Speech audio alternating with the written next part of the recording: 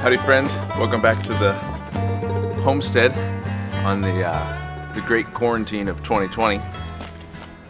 Uh, today we'll just kind of hang out. I'm gonna finish, try and get this siding finished on the house and then uh, kind of show you what it's like out here in the country where you it just the highways over there and it seems pretty quiet. I noticed when I came out that it was a little more quiet than usually on a Friday morning. But uh, then I turned on the radio and they said, well, California, hunker down. So this is uh, it's perfect for me because I, think I enjoy social distancing and um, staying at home. So it's not really much different for us around here. The wife is extremely pregnant, so there is a chance that we'll have to go to the hospital at some point this week. Um, but uh, yeah, so let's get to work.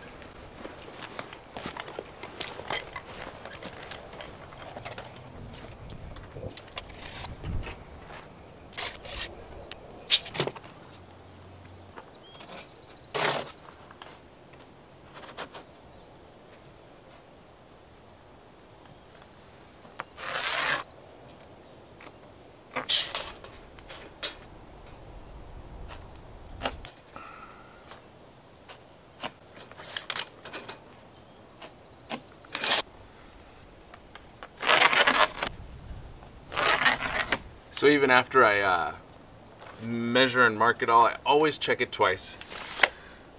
One, because this stuff's about 40 bucks a sheet, and two, because it's nothing more frustrating. Are you having sausage? Yeah. And pancakes with whipped Yeah. cream? Yeah. Yeah. The yummy? Yeah. Waffles with whipped cream. Yeah. Waffles with whipped cream.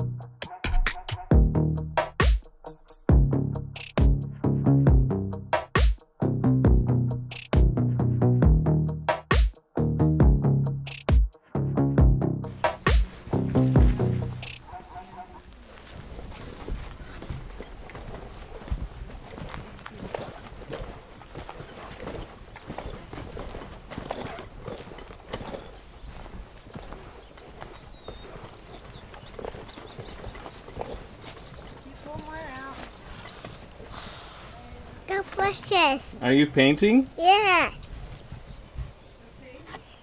That's a cool picture.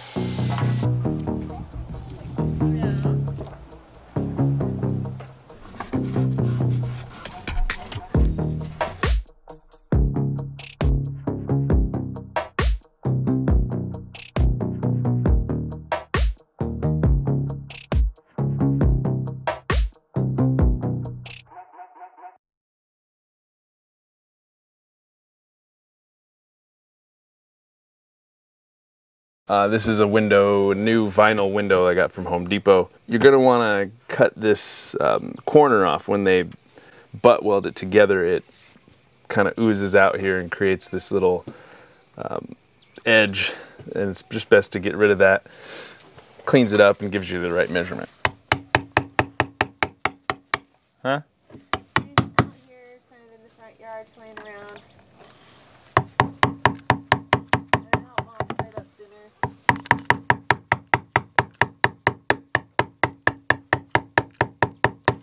What's for dinner?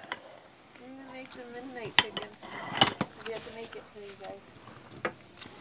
So I have to eat your native people foods, but you won't eat my native people food? What's your native people food? Fish? You never cook fish. Because you don't like it.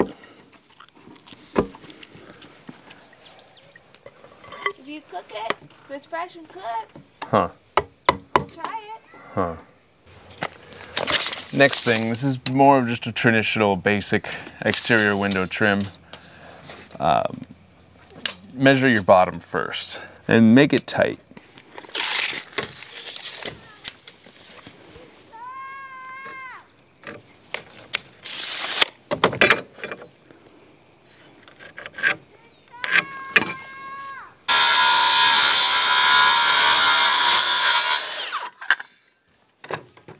So this board has a slight warp to it, but we should be able to get it out.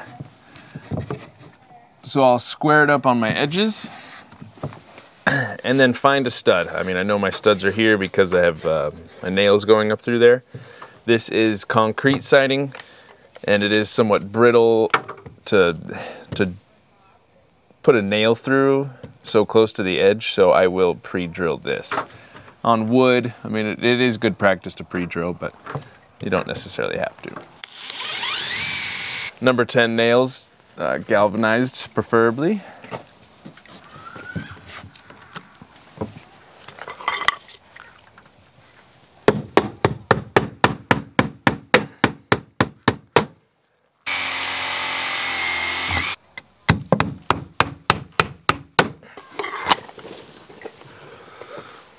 Next thing, hook the top and measure down to the bottom of the trim. Uh, 15 to 16.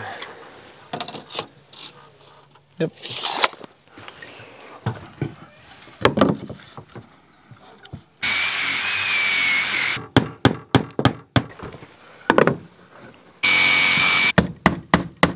Then measure the top from trim to trim.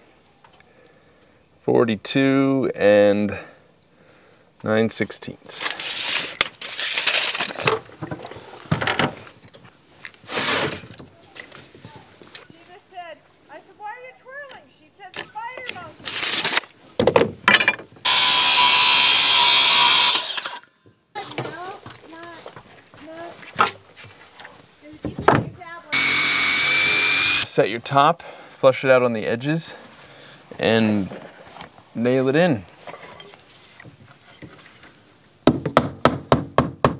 Also try and match the nails down below, just kind of gives it a good look. The theory behind this style, trimming it this way, with the header over the top of both the edges, is think like a raindrop. The water would come down, and then if you had these trim pieces coming up and through, the water would follow that crack and then want to go down and maybe into the building. And that's basically that. I'll uh, finish nailing that up. Thanks for watching. We'll see you on the next one.